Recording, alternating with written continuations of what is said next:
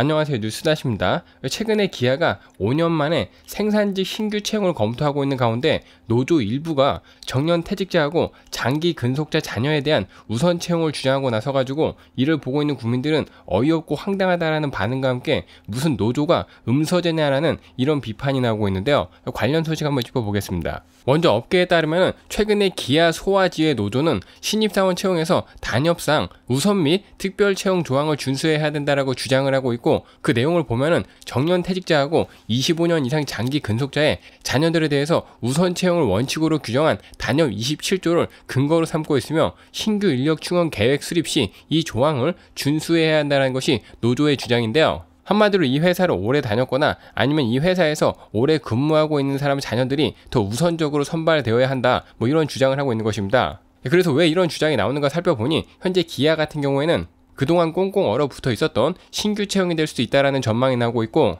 지금 말이 나오고 있는 신규 채용이 현실화될 경우에는 지난 2017년 이후에 약 5년 만에 생산직이 충원이 되는 것으로서 기아 같은 경우에는 그동안 사내 하도급 특별협의에 따라 가지고 사내 하도급 근로자를 직접 고용을 해 왔습니다. 네, 그리고 이와 같은 합의에 따라 가지고 그동안 2,387명이 정규직이 되었는데요. 그리고 현재 기아 노조 같은 경우에는 2025년까지 정년 퇴직자 규모가 7,266명에 달하는 만큼 생산직을 새로 충원해야 된다라고 주장을 하고 나섰고 실제로 올해 임단협에서도 정년 연장과 더불어 가지고 신규 채용을 주요 안건으로 내걸면서 관련 논의에 일부 진전을 이룬 것으로 알려졌습니다. 하지만 업계에서는 현재 기아의 이런 모습에 대해서 상당히 우려스럽다라는 반응을 보이고 있는데 업계 측에서는 현재 글로벌 공급망 붕괴라든가 친환경차 전환 등으로 자동차 산업의 위기가 심화되고 있는 상황이고 이러한 상황은 오히려 인력 감축이 요구가 되고 있는 상황인데 노조 측에서 신규 채용을 하라고 요구하는 것은 현재 상황과 맞지 않다라고 지적을 하고 있는데요. 그리고 거기에 더해가지고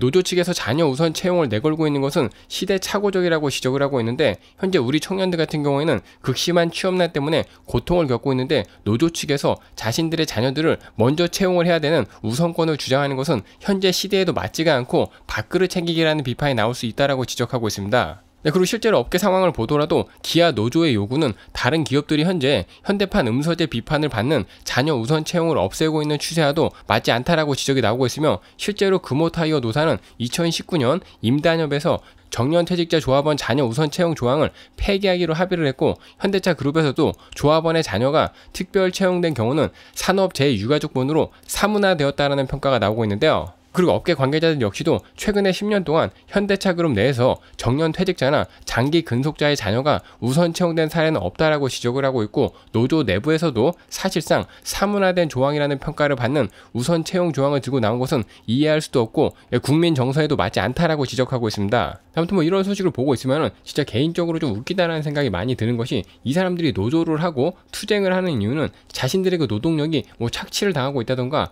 불합리한 대우를 받고 있다던가 또는 뭐 자신들을 보호하기 위해서 회사를 상대로 이런 식으로 싸우고 협상을 하는 것인데 어떻게 보면 이제 자신들이 노동 탄압을 당하고 있다라고 주장을 하고 있는 것인데 그런 회사에다가 자기들 자식들을 왜 이런 식으로 집어 넣으려고 하는 것인지 앞뒤가 전혀 맞지 않는다라는 생각이 들고 상식적으로 생각을 했을 때 회사 생활이 진짜로 족같고 노동 착취를 당하거나 탄압을 자기가 당하고 있으면은 회사를 때려치던가 아니면 적어도 내 자식은 이런데 절대로 들어오게 할 수 없다라고 해야지 정상인데 지금 상황은 이게 완전히 지금 반대가 아닌가 싶습니다. 예, 그리고 실제로 많은 네티즌들은 이와 같은 노조 측의 주장에 대해서 이래도 노조가 아직도 노동자를 위한 조직인가 그냥 지들의 기득권 유지를 위해서 움직이고 있는 이익 집단이다 무슨 조선시대도 아니고 일자리를 세습을 하려고 하는가 민노총부터 해체를 시켜라라고 얘기하고 있으며 또 다른 의견은 세상의 재벌이 회사를 물려받아도 손가락질을 하는 세상인데 뭔 놈의 직원이 자기 자식에게 대물림을 하겠다라고 하는 것인가라는 의견도 있고 또 다른 의견은 살다 살다 지들 새끼 먼저 취직시킨다니 보통은 공돌이들은 자기 자식들은 공돌이를 안 시키려고 하는데 얼마나 신의 직장이면 저럴까 싶다라는 의견도 있고 또 다른 의견은 얼마나 좋은 직장이면 자기 자식을 입사시키려고 저런 짓까지 하는가 이런 의견도 있으며 또 다른 의견은 이게 진짜 웃긴다 맨날 힘든다라고 파업을 하면서 왜 그 힘든 일을 자기 자식에게 못 물려줘가지고 안달이냐 힘들면 자식들은 그 일을 안 하게 해야 되는 것이 아닌가라는 이런 의견들이 대부분인데요. 뭐 현재 기아 측에서 신규 채용 가능성이 거론이 되니까 음서제를 주장하고 있다라는 노조 관련 소식들에 대해서 한번 정리해 봤습니다. 이번 소식은 여기까지 하겠고요. 여러분의 의견은 어떠신가요?